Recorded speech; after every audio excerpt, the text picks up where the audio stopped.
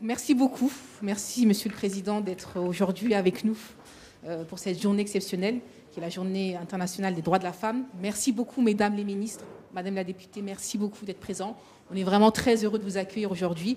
Donc moi, c'est Awad Ramé, je suis la fondatrice de Time to Start, qui accompagne et forme les entrepreneurs issus de la diversité et on accélère également les porteurs de projets. On a développé différents outils d'accompagnement, donc notamment via du mentoring, via des ateliers d'experts, via du coaching individuel, et on a également développé un parcours hybride, donc qui est à la fois euh, digitalisé mais aussi physique, afin de répondre à cette mixité de profils.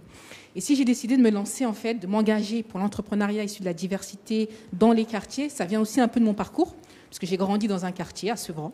Et pendant mes études, on m'a proposé de faire un parcours parallèle qui permettait à des personnes issues des zones d'éducation prioritaire d'intégrer une grande école.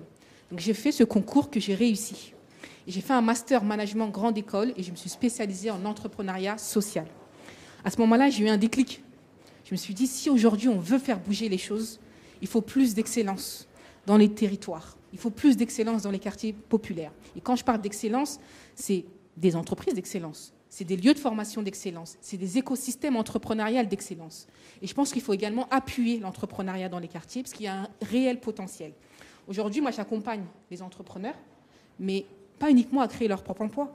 Moi, j'accompagne des entrepreneurs qui vont créer de l'emploi. C'est des futurs employeurs de demain que j'accompagne aujourd'hui. On a accompagné près de 200 entrepreneurs, une majorité de femmes. Et, d'ailleurs, je suis aujourd'hui venue avec certaines des femmes accompagnées qui, euh, de par leur parcours, de par notre expérience, ont vécu des freins, ont vécu des parcours qui sont totalement différents. Parce que certes, elles sont issues de la diversité, mais dans cette diversité, il y a surtout une grande mixité. Une mixité de parcours, une mixité d'ambition, de difficultés, de moyens. Et on va essayer de les valoriser aujourd'hui. Et quand je parle de freins, je parle notamment d'un constat qu'on a fait récemment, c'est que en 2020, Monsieur le Président, Mesdames les ministres, Madame la députée, 90% des fonds levés par des entreprises de la French Tech ont été réalisés par des équipes 100% masculines. Et c'est le même constat qu'on a fait avec Ella Atmani, fondatrice d'Expander, et qui est justement un entrepreneur de la tech. Merci. bonjour Monsieur le Président, bonjour Mesdames les ministres.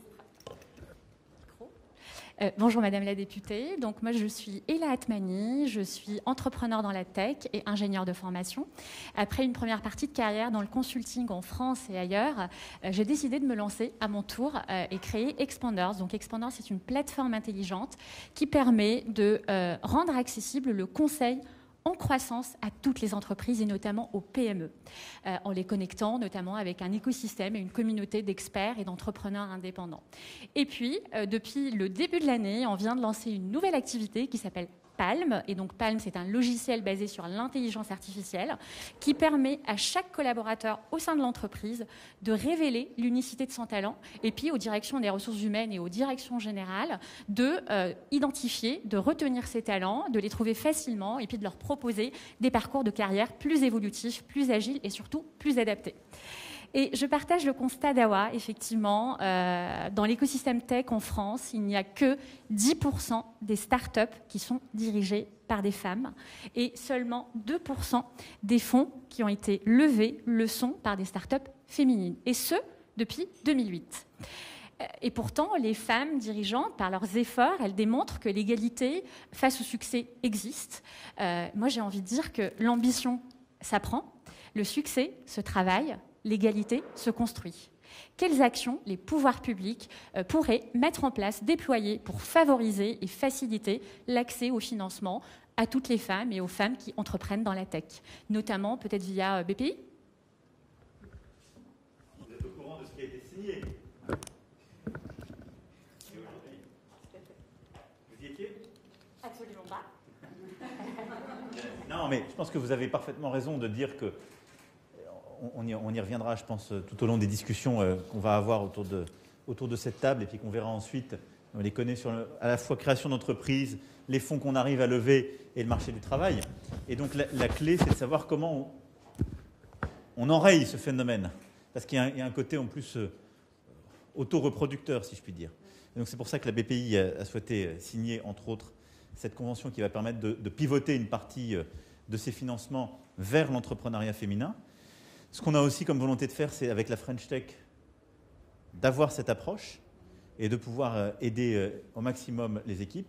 Et puis c'est de féminiser aussi, euh, ça rejoint tout le travail qui est fait par justement nos parlementaires et par la ministre, au-delà de ce qui est fait avec l'index, je pense que la ministre aussi du Travail y reviendra, de pouvoir aider à féminiser davantage le management des grands groupes et créer des écosystèmes qui sont favorables et qui lèvent ces plafonds de verre. Et vous avez 100% raison.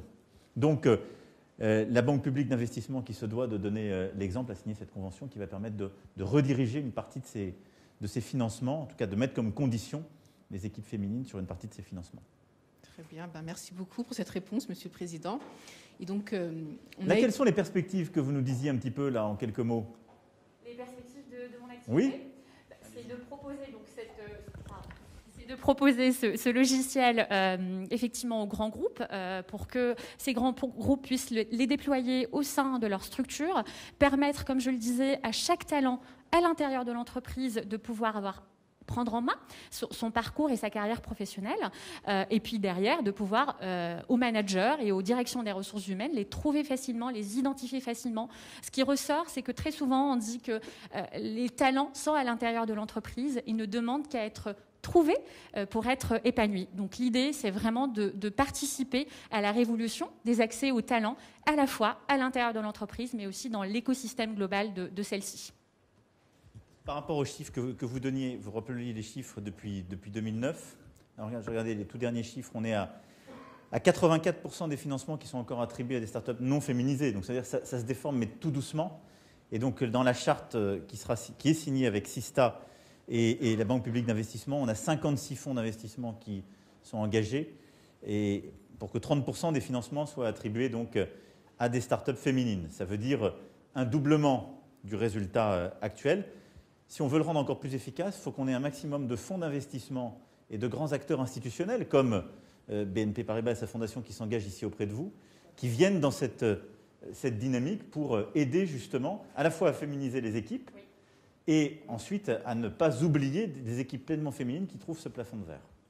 Effectivement, c'est vrai que bah, du coup, dans le cadre de nos activités, on a aussi le soutien de grandes entreprises bah, comme BNP ou d'autres qui viennent aussi, euh, soit en compétences, soit en financement, soutenir nos actions et soutenir l'accompagnement euh, des entrepreneurs issus de la diversité. Mais parmi ces, autres problématiques qu'on rencontre, c'est qu'on a aussi des, femmes euh, qui sont salariées qui sont en entreprise et qui sentent que de par leur situation de femme ou de par leur situation euh, de femmes issues de la diversité, n'ont pas euh, les moyens d'évoluer au sein même de leur entreprise. elles trouvent donc en l'entrepreneuriat un moyen d'émancipation. Et donc, il y a aussi une discussion à mener là-dessus. Donc, c'est d'ailleurs le parcours de Fatou Doumbia, qui est fondatrice de Dagatigi, qui a laissé un peu le monde du salariat pour se lancer et développer pleinement ses compétences.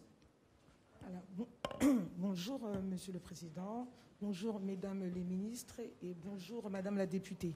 Donc moi, je me présente, euh, Fatou Doumbia, maman de trois adolescents. Et avant la création de mon entreprise, j'étais salariée d'un grand groupe bancaire français. Donc je suis la fondatrice de la marque et de la plateforme d'Agatigi Saveur Africaine qui propose deux types de produits. Euh,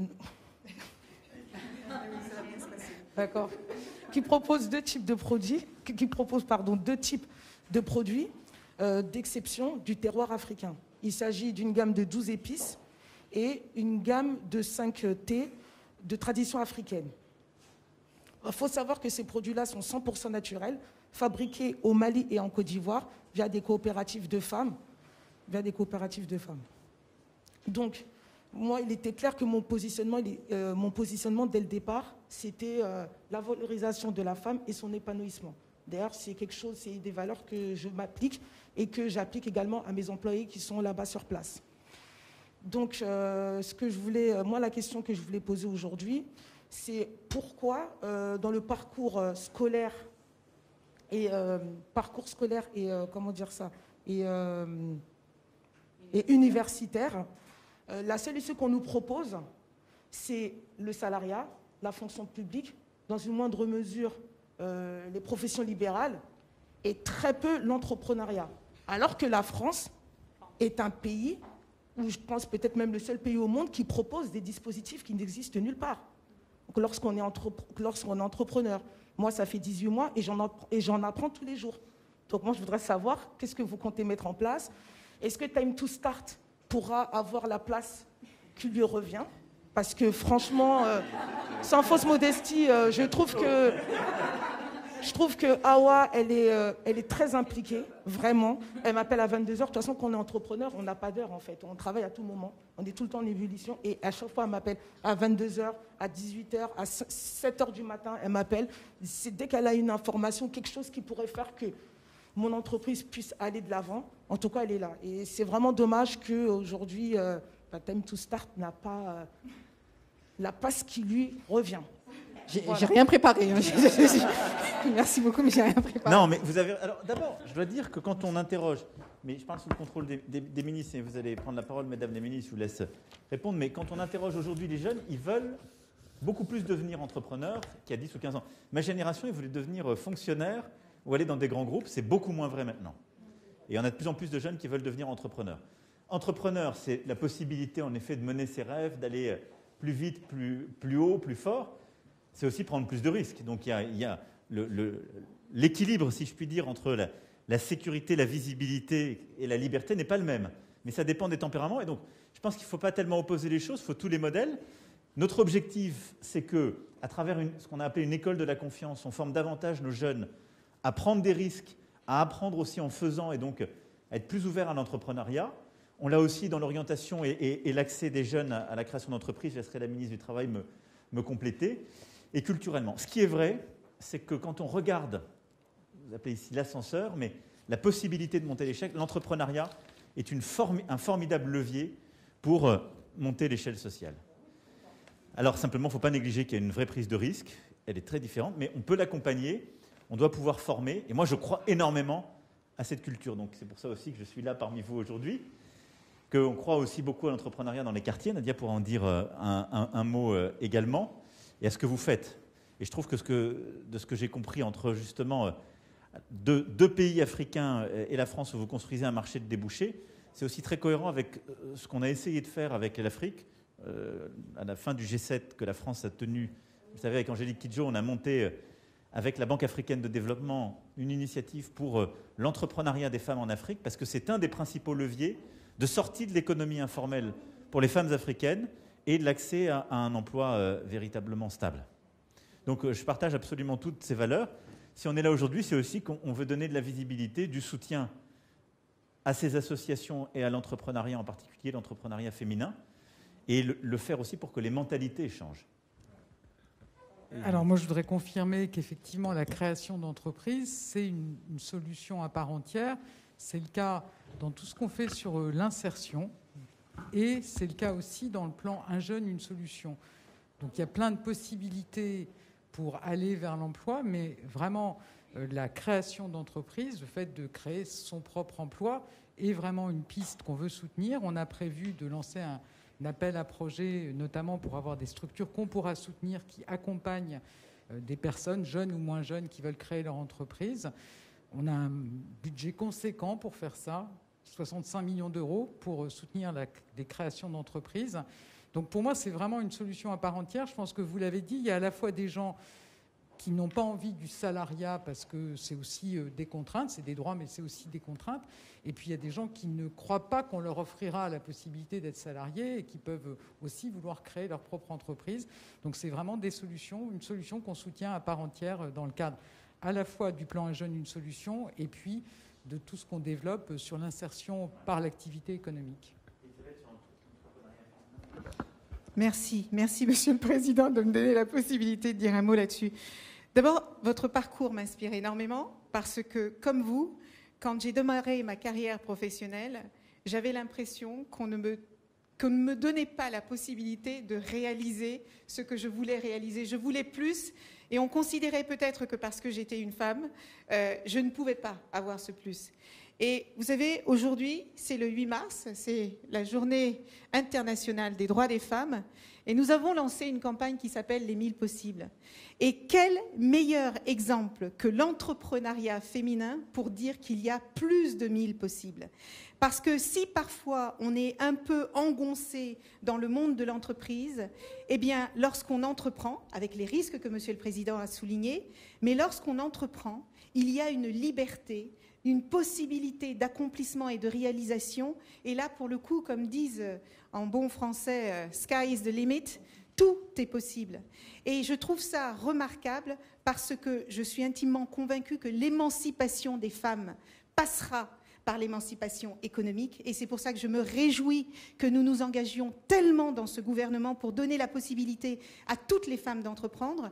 J'étais euh, la semaine dernière avec Olivia Grégoire et nous étions avec la Fédération des banques françaises, nous étions avec France Active. J'ai rencontré euh, l'ADI qui accompagne, encourage et finance les projets des femmes.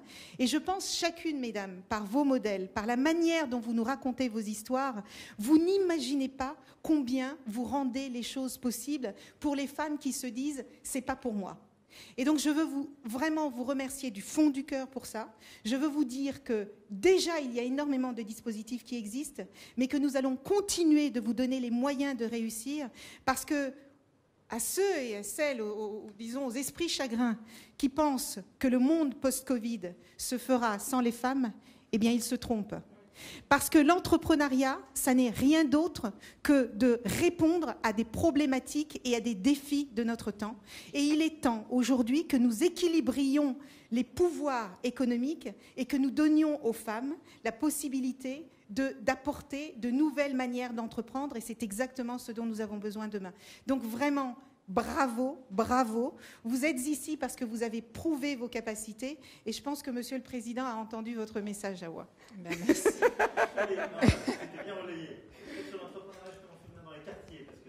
oui. C'est un point extrêmement important parce que de toute dans les quartiers, on part d'un double constat.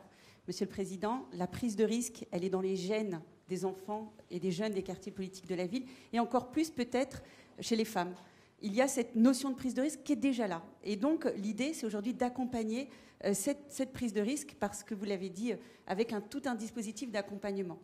Le deuxième constat, c'est qu'il y a des talents. Et euh, c'est un rapport de la BPI qui a été édité il y a quelques semaines, de cela quelques mois, qui prouve que l'entrepreneuriat dans les quartiers eh bien, est beaucoup plus pérenne que, que la moyenne nationale sur la durée de vie d'une entreprise. Donc le talent est là, la créativité est là, l'innovation est là.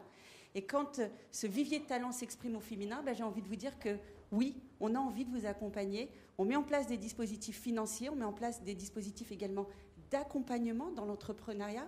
Et je rebondis sur ce que vous dites, Madame, sur la question de l'éducation aussi. Euh, c'est euh, peut-être qu'il y a quelque chose à connecter avec tout ce que nous faisons avec Jean-Michel Blanquer sur les cités éducatives. Et euh, aujourd'hui, nous avons lancé, euh, il y a quelques semaines, un déploiement de ces cités éducatives. Peut-être qu'effectivement, il y a quelque chose à travailler avec cela. Et je serai évidemment euh, honorée, et, je le ferai avec beaucoup de plaisir avec vous, qu'on développe peut-être cette thématique de l'entrepreneuriat dans nos quartiers. Très bien. Dagatigi, en fait, c'est littéralement dans ma langue qui est le bambara. Ça veut dire celui qui a l'art et la maîtrise de la marmite. Daga Tigui. Daga, marmite, Tigui, voilà. C'est du bambara. Merci Fatou. Et puis merci Madame euh, la Ministre pour ce, effectivement cette relance. Et d'ailleurs, bravo pour le lancement de la prime euh, des entrepreneurs dans les quartiers. Je pense que c'est une prime, euh, en tout cas une action qui est intéressante, mais à mon avis qui doit être généralisée. Il faut qu'on aille plus loin aujourd'hui en termes de financement des entrepreneurs des quartiers. Moi, je le vois au quotidien. On a effectivement des dispositifs de financement, mais ça suffit pas. On arrive à un moment où, en stade d'amorçage, on doit passer un cap, on se sent bloqué. Donc il faut qu'on arrive à réfléchir à cette question pour aller plus loin encore dans les financements des entrepreneurs, peut-être généraliser un peu plus cette mesure-là, peut-être avoir plus de fonds, Monsieur le Président, pour ces entrepreneurs issus des quartiers, parce qu'aujourd'hui, on ne veut pas être assisté aujourd'hui dans les quartiers. On veut investir. On veut investir parce qu'il y a du potentiel. C'est des acteurs qui vont créer, comme je l'ai dit, des emplois demain dans les quartiers, qui vont faire bouger les choses. Et pour finir sur ce point, il y a un grand homme qui a dit aucune révolution ne se fera sans la femme. Donc du coup, il faut qu'on soit un peu plus présent. Et si je continue là-dessus, euh, j'ai également rencontré des femmes qui malheureusement, et, enfin malheureusement, en tout cas qui se trouvaient dans une situation de maman solo salariée et qui subissent la pression de leur manager et qui même se retrouvent licenciés et qui voient en l'entrepreneuriat une nouvelle voie. Comment faire pour aider ces femmes qui sont seules, isolées et qui se lancent dans l'entrepreneuriat? On a une première solution, mais il faut encore plus de soutien. D'ailleurs, c'est le parcours d'Astou Koulibaly qui va vous parler un peu de, de ce qu'elle fait. Allô, c'est bon.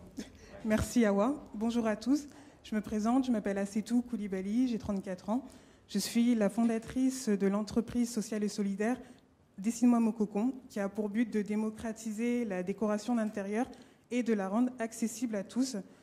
Je travaille avec des entrepreneurs, des particuliers, et du coup, depuis décembre, j'ai décidé de travailler euh, dans les quartiers populaires euh, pour aider les personnes les plus isolées, les hommes isolés, les femmes isolées, les familles isolées, les personnes en précarité, pour leur, euh, pour leur permettre d'améliorer par eux-mêmes leur habitat. Du coup, pendant pourquoi ce constat Pendant le confinement, ça a été très difficile pour certains de vivre ensemble. du coup, il est important pour moi que chacun puisse se sentir bien chez soi, surtout aujourd'hui. Euh, ça a énormément de sens pour moi parce que voilà, j'ai grandi à Clichy-sous-Bois. Euh, on était euh, assez nombreux dans notre appartement. Et aujourd'hui, je veux apporter cette nouveauté dans les quartiers pour permettre aux gens vraiment de se sentir bien. Pourquoi aujourd'hui je me suis lancée dans l'entrepreneuriat J'ai été licenciée par le fait de ma situation de maman célibataire. Ça a été très difficile pour moi. Je me suis retrouvée au chômage. Euh, du coup, j'ai rencontré Awa. Merci Awa. Pas de complot. c'est vraiment du coup merci à to Start. Euh, euh, du coup, j'ai décidé de me lancer. Depuis 17 ans et demi, j'ai toujours voulu faire de la décoration d'intérieur. Du coup, je me suis lancée à 33 ans et, j'avais énormément de freins. Je, pensais qu'il était impossible pour moi de, de me lancer parce que bah, le fait de ma situation, j'avais énormément de doutes. Aujourd'hui, euh, je suis une femme ambitieuse euh, qui veut me. Non, mais je, je, suis très déterminée et vraiment, je veux faire avancer les choses et je veux faire en sorte que les femmes comme moi euh, puissent s'émanciper, puissent aller de l'avant, puissent prendre confiance en elles parce que, encore une fois, dans les quartiers, il y a énormément de talent et malheureusement, en fait, on, a on, a un manque de confiance en nous qui est impressionnant et, et le fait que, voilà, c'est. Il faut que il faut donner de la force aux femmes, davantage aux femmes, aux femmes euh, les mamans solo, parce qu'on a énormément de choses à, apporter. Et donc voilà, merci. Je ne sais pas si la ministre veut rajouter quelque chose côté travail et dispositif justement d'aide à la création d'entreprises en reconversion, qui est votre cas. Il y a une chose qu'on a essayé d'améliorer, qui, à mes yeux était importante et qui, touche des, des parcours de vie comme le vôtre, euh, parce que ça touche à 90% là aussi des femmes, euh, mais c'est dans l'autre sens que les financements qu'on évoquait tout à l'heure, c'est le non-paiement des pensions familiales. Et donc euh, la, réforme qu'on a menée, mais qui, a été le fruit aussi de beaucoup de, femmes qui étaient dans votre situation, c'est qu'on a, on a 90% des familles monoparentales, comme on dit, qui sont, féminines, qu'on a des millions de nos concitoyennes qui vivent de, justement des pensions alimentaires qui, dans 30 à 40 des cas, parfois plus, ne sont pas payés. Et donc, on a mis en place une réforme qui, depuis le 1er janvier de cette année maintenant, est pleinement euh, euh, en exercice, mais qui permet d'abord, à la demande de la femme seule, même sans accord du conjoint, d'avoir un mécanisme qui, du premier jour, le rend payable par la CAF.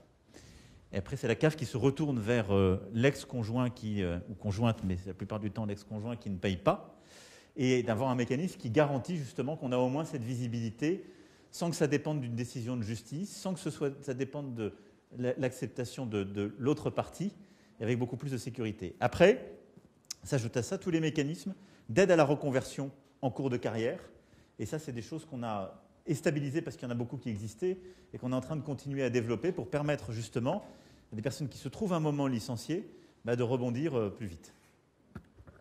Oui, peut-être dire qu'effectivement, on veut changer d'échelle hein, sur euh, cet accompagnement à la création d'entreprises. Je pense que c'est important qu'on puisse ancrer dans les esprits que ce n'est pas, pas un drame si on perd son emploi, qu'on doit pouvoir accompagner chacun pour rebondir, pour rebondir en créant son entreprise ou pour rebondir en étant formé vers un autre métier. Donc c'est tous les dispositifs qu'on est en train de développer en essayant de simplifier, parce que c'est aussi une mosaïque de dispositifs qui finit euh, par être pas très lisible. Mais en tout cas, enfin, l'idée de base, c'est de dire que tout au long de sa vie, on peut avoir une nouvelle chance de créer son entreprise ou d'aller vers un autre emploi. C'est les dispositifs qu'on porte. Super. Ben, merci beaucoup pour ces réponses. Enfin, pour euh, terminer, euh, j'aimerais quand même donner la parole à Emna Caldi, qui en fait a fait un peu un résumé de tous ces constats et s'est dit, bah, en fait, pour changer les choses, il faut former. Il faut former les managers, il faut former les enfants, il faut former les parents. Et c'est un peu ce qu'elle a fait avec sa structure, donc son cabinet Cosinus et l'association Altalae. Bonjour Monsieur le Président, bonjour Madame, Mesdames les ministres et Madame la députée. Donc moi je suis Amna Kaldi, fondatrice de l'association Altalaen euh, dont le but est la prévention de la radicalisation des idéologies extrémistes et des discriminations. Et j'ai fondé donc euh, Consinus, cabinet de conseil et de formation à la prévention des risques idéologiques et euh, discriminatoires. Donc moi, je vais être brève. Je voudrais tout simplement poser la question comment nous, qui avons une expertise de terrain, qui avons un certain, savoir-faire, comment on pourrait, enfin l'État pourrait nous aider à développer donc euh, nos entreprises euh, qui démarrent et qui ont un vrai savoir-faire qui répond à des, euh, à des questions donc d'ordre public et qui rentrent pleinement dans la politique du gouvernement. Voilà. vous auriez besoin de quoi pour qu'on vous aide à faire plus et mieux? Je vois que par exemple la, la loi de 2017, euh, égalité citoyenneté, qui impose euh, les entreprises euh, de plus de 300 salariés à se former contre les discriminations en embauche, n'est pas vraiment appliquée. Je vois, je, je, dans certaines, notamment, et qui a été étendue à la fonction publique. je vois qu'il n'y a pas vraiment un vrai désir de la part donc des, des entreprises pour jouer le jeu et euh, également des institutions publiques aussi. Je vois aussi, j'avais, euh, vous avez, donc quand je vous ai rencontré, Monsieur le Président, euh, j'avais parlé d'un projet pour améliorer la relation police-population à travers une formation qui est assez innovante. Et donc, il n'y a pas eu de suivi. Je pense qu'il y a des petites, des fois, des petites réticences. Voilà.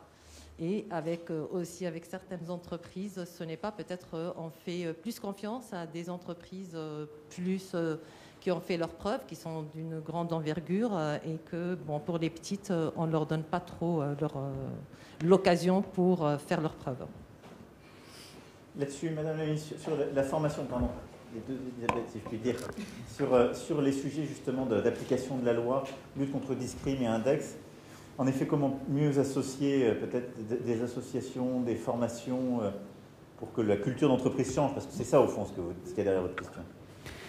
Alors, c'est vrai que la loi a posé le cadre et effectivement, il faut qu'on arrive à s'assurer de, la mise en œuvre. Euh, moi, je pense qu'on. Enfin, les services du ministère interviennent beaucoup en conseil et en appui des, entreprises. Donc je pense qu'il faut qu'on se connecte mieux avec le type de, formation que vous proposez pour venir euh, voilà, enrichir ce que, ce que les services directement du ministère peuvent faire. Mais donc moi, je, prends le point et je pense qu'on peut travailler ensemble sur ces, sur ces sujets. Et peut-être que je peux ajouter, cher Emna, euh, que je vous remercie. Je vous remercie parce que, vous savez, moi, quand j'ai grandi dans mes quartiers, J'entendais beaucoup parler des grands frères, mais j'entendais jamais parler des grandes sœurs. Et alors même que je me rends compte que les femmes ont cette énorme capacité à apaiser les choses, à renouer le dialogue, à faire attention, à veiller, à comprendre. Et je n'ai jamais compris pourquoi on n'avait pas donné autant de place aux femmes dans les quartiers qu'on en donnait aux hommes pour pouvoir gérer les situations. Et je pense que quelque part, ce que fait votre association aujourd'hui, c'est ce rôle de grande sœur. Et moi, je suis intimement convaincue que les quartiers demain seront sauvés, entre guillemets, par le rôle des femmes.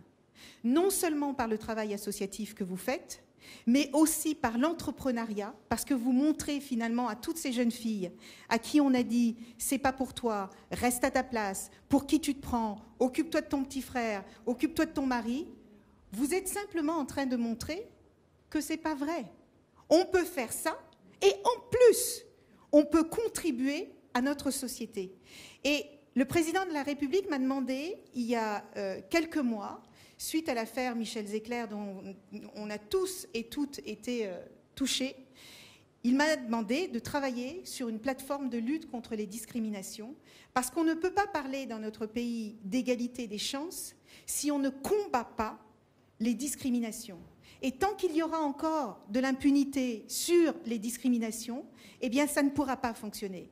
Et les trois sujets de discrimination, et j'ai presque envie de dire, c'est dommage, mais la plateforme que nous avons lancée il y a trois semaines chez le défenseur des droits, malheureusement, elle fonctionne.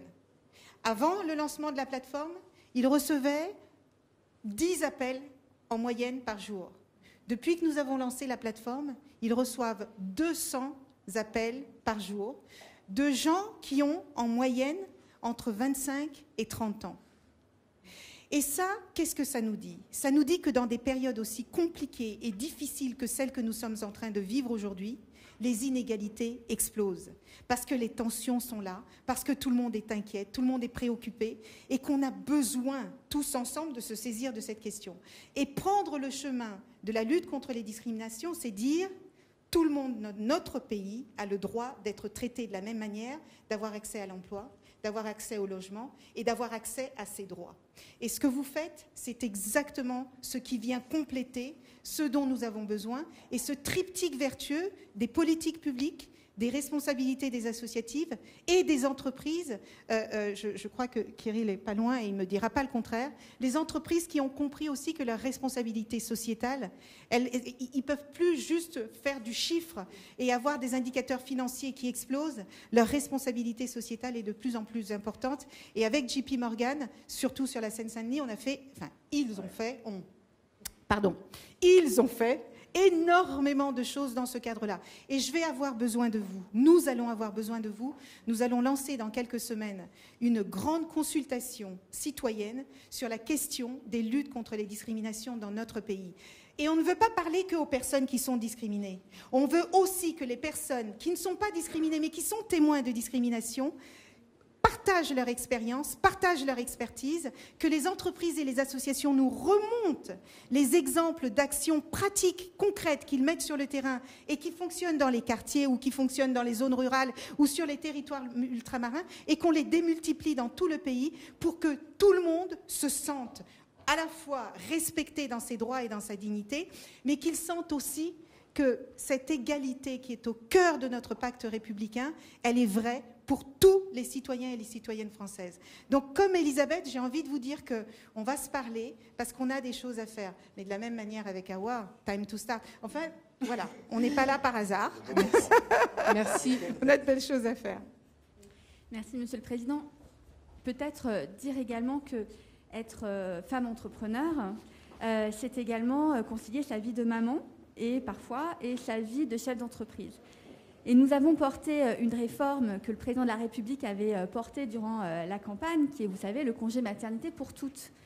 Et ce congé maternité, nous nous sommes battus notamment pour faire en sorte qu'une femme chef d'entreprise, mais ça vaut également pour une femme en situation de profession indépendante, puisse à la fois concilier son congé maternité et son activité professionnelle. Et ça, en fait, les femmes ne le savent pas toujours, parce qu'évidemment, le risque lorsqu'on est chef d'entreprise et qu'on souhaite prendre son congé maternité parce qu'on a le droit de vouloir s'occuper de son enfant, bah, c'est de voir son outil de travail, son outil économique euh, s'éloigner comme ça de jour en jour. Et, euh, et donc l'idée était de permettre aux femmes de maintenir le lien, si elles le souhaitaient, durant leur congé maternité avec leur outil économique et de pouvoir prendre comme ça deux jours dans la semaine pour pouvoir travailler et à l'issue du congé maternité pouvoir récupérer ces deux jours et ainsi euh, bénéficier de la même manière d'un congé maternité pour toutes, équivalente aux salariés. Et je crois que c'est important aussi de dire que cette mesure, elle est, euh, elle est là, que les femmes doivent pouvoir euh, l'utiliser, s'en saisir, et qu'aujourd'hui, on peut être chef d'entreprise, mère de famille, et, et bien, garder le cap sur son outil économique et sur son enfant accessoirement. Super, super, merci beaucoup. Et juste rebondir aussi également, merci, c'est vraiment une information importante, je pense qu'il faut qu'on le répète. Et euh, merci aussi pour votre, euh, votre euh, intervention, puisque vous parlez effectivement de la place des hommes dans le monde associatif, c'est vrai. Il faut savoir qu'ici, on est à l'ascenseur. TM Star, c'est la plus petite structure de l'ascenseur, on a un seul salarié.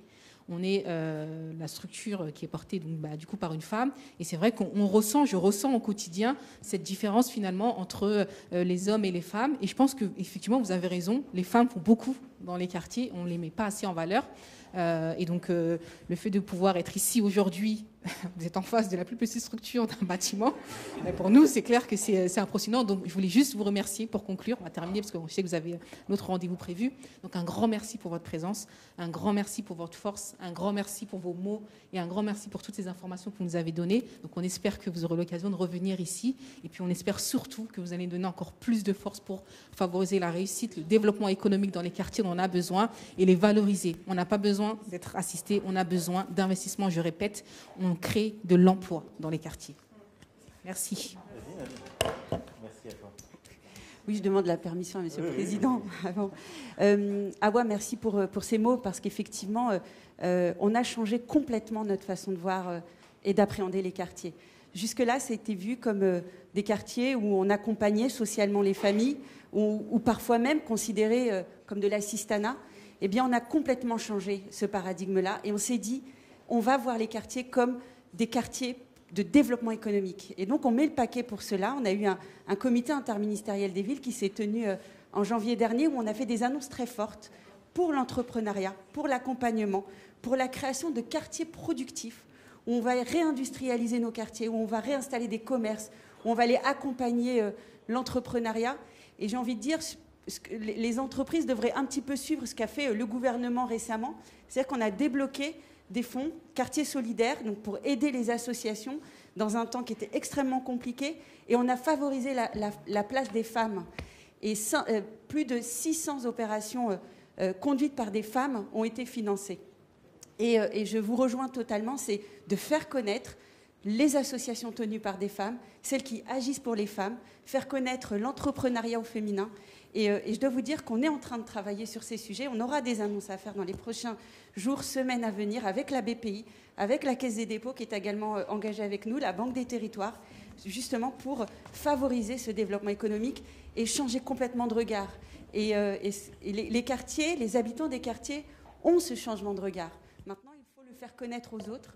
et sachez que c'est ma mission, c'est ma tâche. Et je serai euh, évidemment à vos côtés pour qu'on porte ensemble tout cela, parce que c'est la société, c'est les mentalités qui doivent changer. Et on ne sera pas trop, l'État peut pas tout, on a besoin de vous. Et je sais que je vais pouvoir compter sur vous comme vous allez pouvoir compter sur nous. Très bien, l'excellence, l'excellence dans les quartiers.